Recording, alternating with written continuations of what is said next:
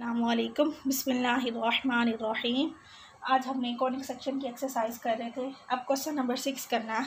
Show that the line L X plus M Y is equal to N will cut the ellipse X square over A square plus Y square over B square is equal to one in points whose eccentric angles by pi by two if A square L square plus B square M square is equal to two M square अब हमने इस question में proof क्या करना है? हमारे पास ये जो लाइन है L X plus M Y plus N ये हमारे पास ये वाली लाइन है।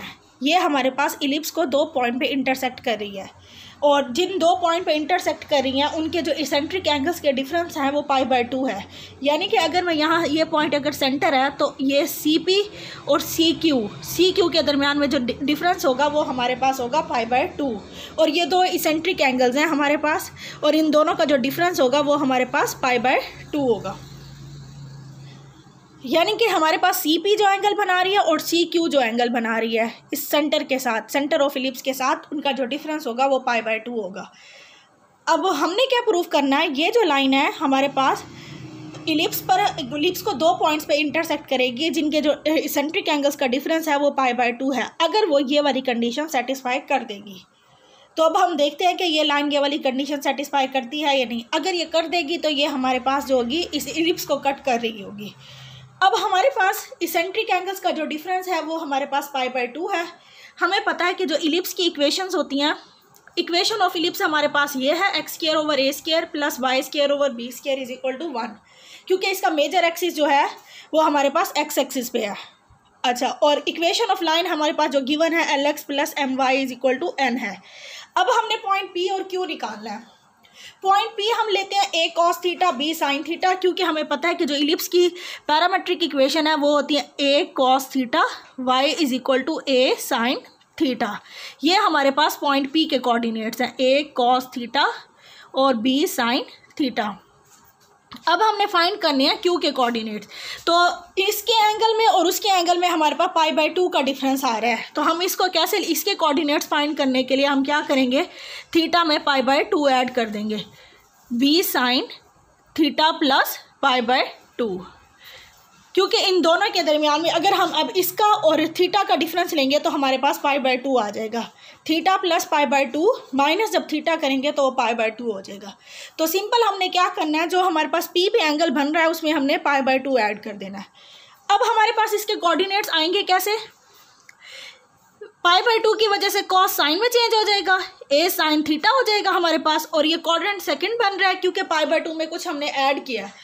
तो हमारे पास पाई बाई टू यानी कि सेकंड क्वाड्रेंट है। सेकंड में कॉज नेगेटिव होता है तो ये हमारे पास नेगेटिव आ जाएगा।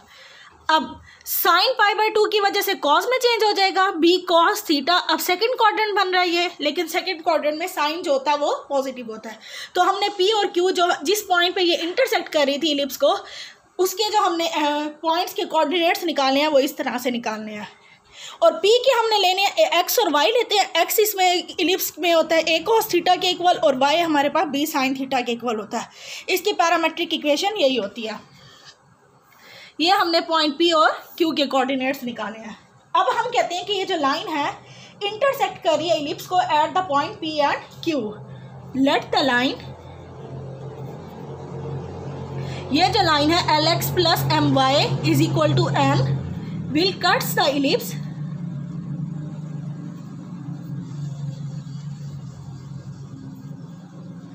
in points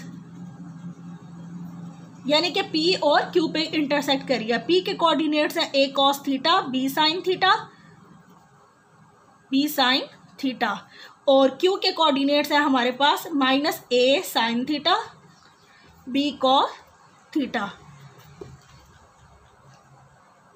और पी और हमारे पास जो है पी और Q lies on the ellipse और जिनके हमारे एंगल्स जो होंगे, हमारे पास क्या है? पी और क्यू जो है पॉइंट जो है, हमारे पास जो है L X plus M Y is equal to N ये इलिप्स को इंटरसेक्ट कर रही है और जिन पॉइंट पे इंटरसेक्ट कर रही है, उनका जो एंगल का डिफरेंस है, वो हमारे पास क्या है? पाई बाई टू है। Whose eccentric angles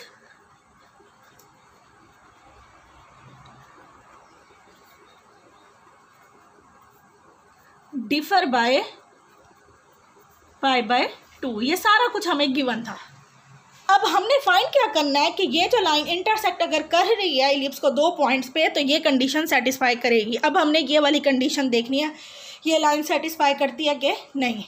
अब हम यहाँ देखें, अगर ये वाली जो लाइन है पॉइंट पी को इंटरसेक्ट पे इंटरसेक्ट करिए और क्यू पे, इसका मतलब है पॉइंट पी और पॉइंट क्यू जो है, वो लाइन के ऊपर है। और अगर हमारे पास कोई भी पॉइंट किसी लाइन पे हो या किसी भी कर्व पे हो तो वो उसकी इक्वेशन को सेटिस्फाई करते हैं। अब पॉइंट पी और क्यू जो है, वो इस लाइन की इक्वेशन पे है। सॉरी इस लाइन पे है तो ये लाइन की इक्वेशन को सेटिस्फाई करेंगे। तो अब हमारे पास क्या होगा? पॉइंट पी जब हम देखेंगे पॉइंट पी के कोऑर्डिनेट्स हैं A cos theta B sine theta और लाइन की इक्वेशन ये है। अगर हम इसमें एक्स और वाई की जगह पे ये पुट कर दें तो ये सेटिस्फाई करेंगे। क्योंकि ये दोनों पॉइंट्स जो हैं, वो हमारे पास लाइन के ऊपर हैं। तो ये लाइन इनके कोऑर्डिनेट्स पॉइंट पी और क्यू के कोऑर्डिनेट्स इस लाइन की इक्वेशन को सेटिस्फाई ज़रूर करेंगे। तो अब हम पॉइंट पी पे पुट करते हैं इसमें। एल एक्स की जगह हम पुट कर देंगे ए कॉस थीटा एम वैसे लिखेंगे वाई की जगह पे हम पुट कर देंगे B sine theta plus is equal to N तो ये हमारे पास इक्वेशन बन रही है। A L cos theta B M sine theta is equal to N ये हमारे पास थर्ड इक्वेशन बन गई। अब हम पॉइंट क्यू पुट करते हैं, क्योंकि पॉइंट क्यू के भी कोऑर्डिनेट्स लाइन की इक्वेशन को सेटिस्फाई करेंगे। अब हम क्या करेंगे? एल क्यू के कोऑर्डिनेट्स है minus A sine theta X की जगह पे हमने पुट करना है minus A sine theta M और वाई की जगह पे हमने पुट करना है बी कॉस थीटा क्योंकि पॉइंट क्यू का Y coordinates B cos theta है। इज़ इक्वल टू एन तो ये हमारे पास इक्वेशन बन जाएगी minus A L sine theta plus B M cos theta is equal to N ये इक्वेशन फोर हो गई है। अब अगर मैं इक्वेशन थ्री और फोर को स्केयर भी ले लूँ और ऐड भी कर लूँ squaring and adding squaring and adding three and four ये हमने स्केयर और ऐड क्यों कर रहे हैं? क्योंकि हमने जो कंडीशन सेटिस्फाई करनी है, उसमें देखें, ना कॉज है, ना साइन है। तो अगर हम स्केयर लेके ऐड करेंगे तो साइन और कॉज का फार्मूला यूज़ करके हम उनको ख़त्म कर सकते हैं। तो अब हमारे पास ये, इसका मैं जब स्केयर लूँगी तो A square L square cos square theta ये आ जाएगा। B square M square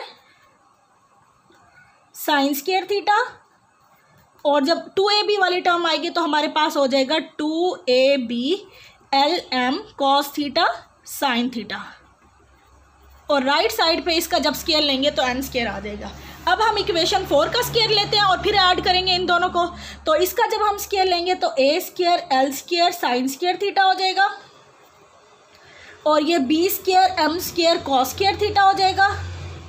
और माइनस टू ए बी वाली टर्म लेंगे तो वो two A B L M cos theta sine theta हो जाएगी और राइट साइड पे एन स्केयर आ जाएगा। अब हमने इन दोनों को ऐड करना था तो ये हमारे पास कैंसिल हो जाएगी टर्म और इन दोनों में हमारे पास A square L square common आ रहा है तो cos square theta plus sine square theta हो जाएगा। और इन दो टर्म में हमारे पास कॉमन आ रहा है B square M square cos square theta plus sine square theta और राइट साइड पे हमारे पास आ रहा है टू एन का square cos square theta sine square theta one के इक्वल होता है तो ये ए स्केयर एल स्केयर हो जाएगा B square M square is equal to two N square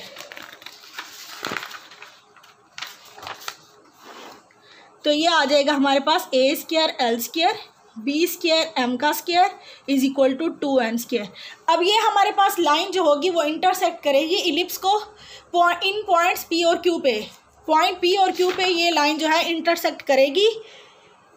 जिनके एंगल का डिफरेंस इसेंट्रिक एंगल का डिफरेंस जो है वो पाई बाय टू होगा। अगर हमने ये कंडीशन सेटिस्फाई कर देगी तो अब हमने देखा कि ये लाइन जब हमने इसको सोल्व किया तो उसने ये कंडीशन सेटिस्फाई कर दिया। तो हैंस प्रूव्ड तो इससे हमें साबित क्या हुआ कि ये जो लाइन है इंटरसेक्ट कर रही है इलिप्स को पी और क्यू पे, जिनके एंगल का इसेंट्रिक एंगल का डिफरेंस जो है वो पाई बाय टू है।